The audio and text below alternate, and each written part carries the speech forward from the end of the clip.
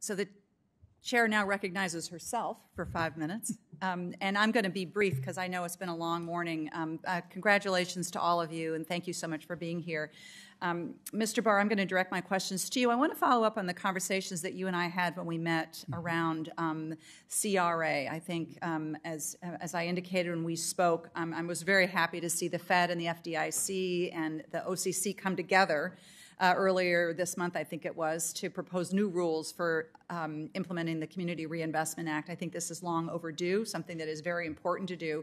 And I want to just um, follow up on this. Um, you know, I, I, think the pandemic has really shown us how stark the um, the need is, and how the challenges of our economy have not fallen disproportionately on everybody in our economy um, because of the pandemic, that it is um, uh, rural and um, majority minority communities that have had the greatest impact, which is what the CRA was designed to really um, address. So, could you talk to me a little bit, talk to us a little bit about um, if you were confirmed, how you'll be joining the Fed midway through the rulemaking progress? I'd like to understand a little bit about what your focus would be and what your priorities would be with regard to CRA implementation. Uh, thank you very much, um, uh, Senator. I appreciate the question.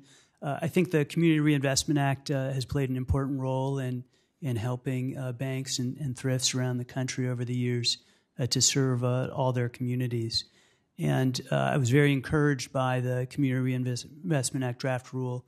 If confirmed as as vice chair and as a governor, I'd be working with my colleagues both at the Fed and, and at the other agencies uh, to seek and, and to, to understand and to evaluate all the public comment uh, that, that I hope the agencies get um, uh, uh to understand uh, the, the effects on the banking sector and the effects on, on communities and civil rights organizations. I think all of that public comment uh, would be very helpful.